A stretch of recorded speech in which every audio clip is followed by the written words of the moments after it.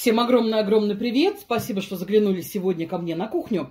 Давайте приготовим очень вкусную малосольную скумбрию в бутылке, за которую ваши гости будут носить вас на руках. Получается невероятно вкусно, готовится просто. И давайте приступим. Что нам понадобится? У меня две такие крупные скумбрии. Нужно взять полтора литровую бутылку, либо двухлитровую, какая у вас есть. Я уже срезала вот отсюда горлышко. Вот так его можно вообще оторвать. Оно нам не понадобится. Также мне понадобится два лавровых листа, немного перца горошком, душистый перец, гвоздика, обыкновенный самый черный чай, заварка. Здесь у меня 4 столовые ложки. 3 столовые ложки вот такой крупной соли, самой обычной, не ядированной. И 2 столовые ложки сахара. Давайте приступим. Берем литр воды, засыпаю сюда соль, сахар, добавляю лавровый лист и также все наши приправы и специи. Все хорошо перемешиваем и доводим до кипения, чтобы соль и сахар растворились. Я все же возьму двухлитровую бутылку. Смотрите, у меня чуть-чуть хвостики не влезают, а я хочу, чтобы у меня рыбка была полностью погружена в рассол. Если у вас рыбка поменьше, подойдет и полтора литровая бутылка. Перекладываю скумбрию в двухлитровую бутылку. Вот так она будет, смотрите, полностью погружена в рассол.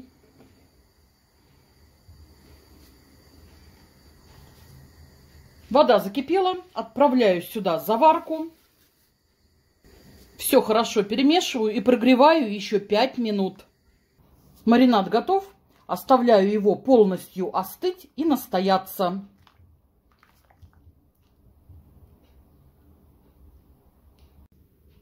Маринад остыл, и теперь мы заливаем нашу рыбу в бутылке.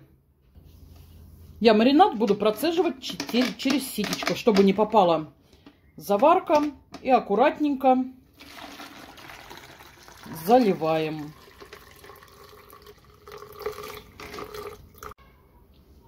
Рыбку доливаем до конца, лаврушку тоже туда опускаю.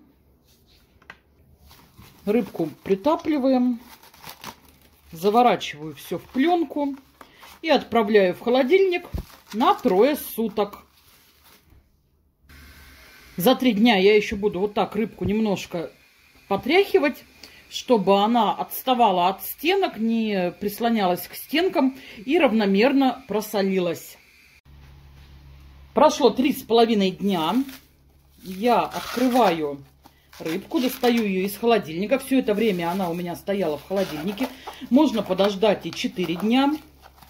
Но я уже, если честно, ждать не хочу. Хочу ее быстрее попробовать. Вот такая она там получилась. Достаем рыбку. И покажу, что я дальше с ней делаю. Достаю рыбку, перекладываю ее на полотенце. И нам надо, чтобы рыбка хорошенько обсохла. Можно ее вот так прям просушить этими бумажными полотенцами.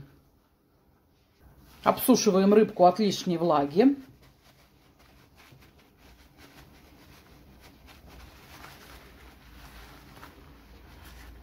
Внутри тоже.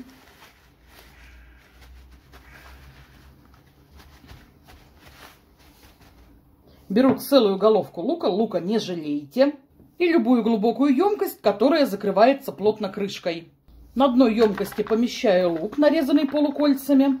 Как бы создаем подушку для нашей рыбки.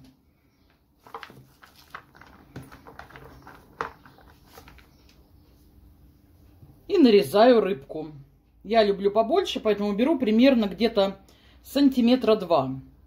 Люблю такие кусочки потолще. Сейчас покажу, как она выглядит внутри, как она засолилась за эти три дня.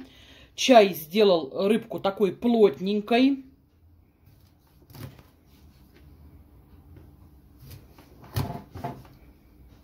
Смотрите, как она засолилась.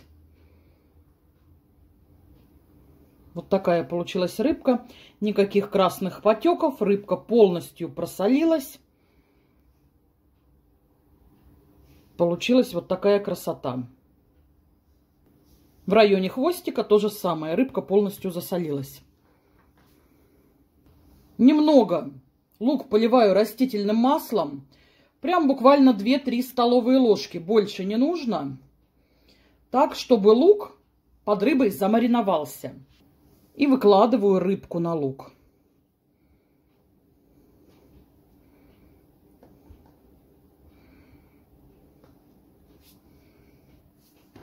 Также вторая рыбка тоже полностью просолилась, полностью засолилась. Показываю вам вторая рыбка.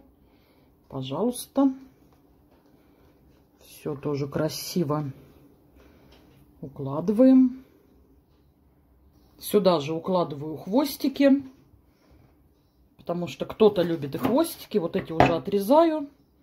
И вот сюда прекрасно они вот так влазят. Немного лука сверху.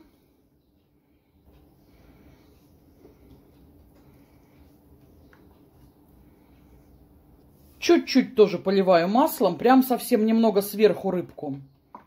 Не волнуйтесь, жирная она не будет. Плотно закрываю крышкой и отправляю на хранение в холодильник. Но поверьте мне, такая рыба в вашем холодильнике долго не простоит. Попробуйте приготовить такую скумбрию. Я, если честно, скумбрию в магазине перестала покупать после того, как начала делать ее сама. Просто попробуйте, вы удивитесь. Она даже в тысячу раз вкуснее, чем копченая. Удивите себя, своих друзей, своих родных. Такой вкусной скумбрией. Сверху еще можно все присыпать зеленью. И не стыдно даже подать на праздничный стол. Кому понравится рецепт, обязательно подписывайтесь на канал, нажимайте на колокольчик и не пропускайте новые интересные видео.